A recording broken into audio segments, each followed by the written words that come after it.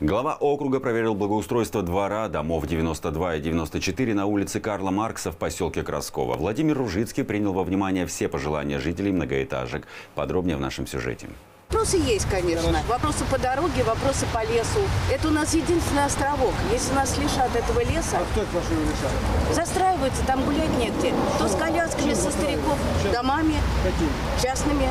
Двор на улице Карла Маркса считается одним из самых благоустроенных дворов Люберецкого округа. Сюда приходят играть дети из соседних микрорайонов. Но у местных жителей остаются пожелания. Вернуть качели, установить спортивную коробку, оградить зеленую зону. Зеленая зона площадки детской – это один из элементов детской площадки. Я два года занималась тем, э, чтобы наша площадка вошла э, в реконструкцию, ходила на совещания на все и прочее. Машин, конечно, здесь очень много постоянно. То есть из-за этого, соответственно, даже снегоуборочные машины, которые приезжают, они не могут подъехать к домам, чтобы нормально убрать.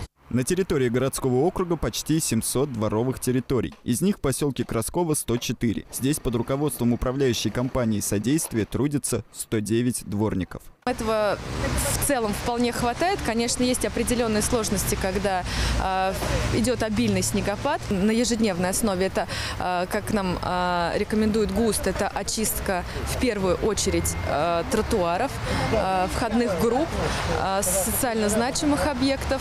С таянием снега обнаруживается много мусора. В связи с этим проводятся коллективные уборки территорий. Ближайший муниципальный субботник состоится 9 апреля. Дмитрий Гринчев, Петр Пономаренко, телеканал ЛРТ.